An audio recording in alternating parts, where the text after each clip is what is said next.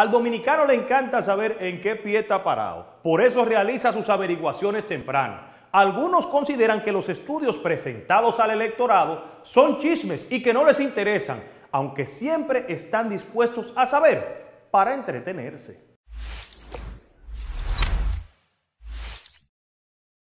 Se armó el avispero con la presentación de una encuesta donde arroja un resultado que da como escenario electoral que nadie gana en la primera y polarización para fines de segunda vuelta. Luis Abinader supera a Gonzalo Castillo, pero apenas con dos puntos porcentuales, que está dentro del 3% del margen de error.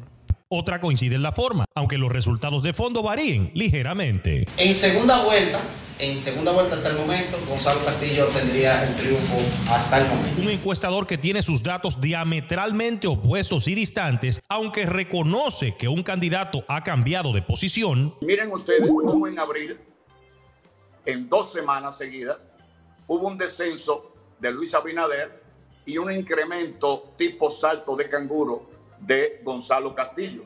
Vamos arriba, a trabajar. La información que publica arroja un resultado definitivo en un primer round. La encuestadora que usted maneja, de mucho prestigio y usted es un gran profesional, la data que utiliza para arrojar estos resultados, ¿el mecanismo cuál es? Hay cuatro o cinco encuestas sin movimientos significativos de ninguno de los dos candidatos para mantener la diferencia de 18 puntos a favor de Luis Abinader. De inmediato la porfía no se hizo esperar. Nunca he sido partidario de abultar con datos falsos encuestas para complacer a tus seguidores. Los enviados al último lugar también ofrecen su versión. Los números nuestros indican que nosotros estamos posicionados para salir victoriosos en los próximos certámenes Entienden que no están tan bien como quisieran, pero tampoco tan mal como los quieren pintar. El pueblo dominicano sabe que Abinader tiene su cabeza pegada de su techo de crecimiento, no crece más.